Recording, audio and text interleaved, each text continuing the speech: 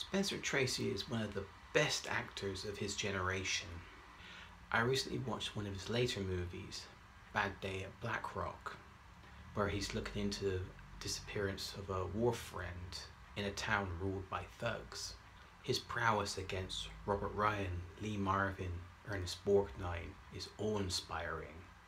This feels like an unusual choice of a role to play. Having said that, this is a remake where his predecessor Fredric March won an Academy Award. This is his only venture into horror, the 1941 version of Dr. Jekyll and Mr. Hyde.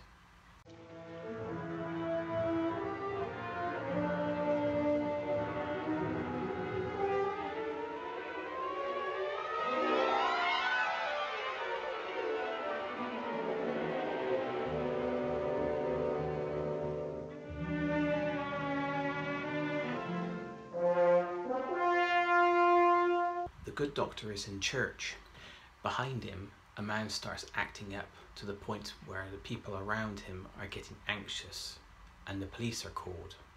While Jekyll dissuades the police from arresting him, he takes the man to be evaluated. He doesn't believe the man is deranged or a threat to society, but someone whose other side had come to the surface. A recent event in their life had caused this to manifest. Jekyll believes he can find the answer to the mysteries of hysteria and madness, and from there, Robert Louis Stevenson's story comes to life.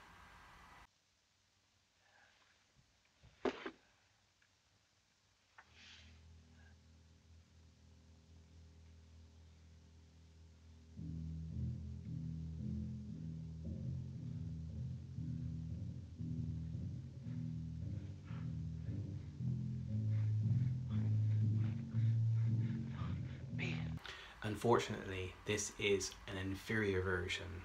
It doesn't work as well as the 1931 version.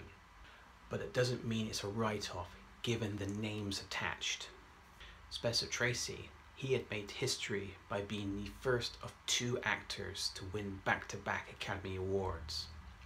The second, Tom Hanks, decades later.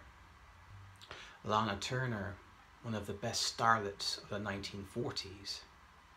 Ingrid Bergman, best remembered for her role in Casablanca the following year. She was the second person in the history of the Academy Awards to win three as a performer, the first being the almost forgotten Walter Brennan. To this day, no one has been able to match the record of wins by a performer. The record is four, set by Katharine Hepburn. And then you have director Victor Fleming, who two years previous had made Gone with the Wind and The Wizard of Oz.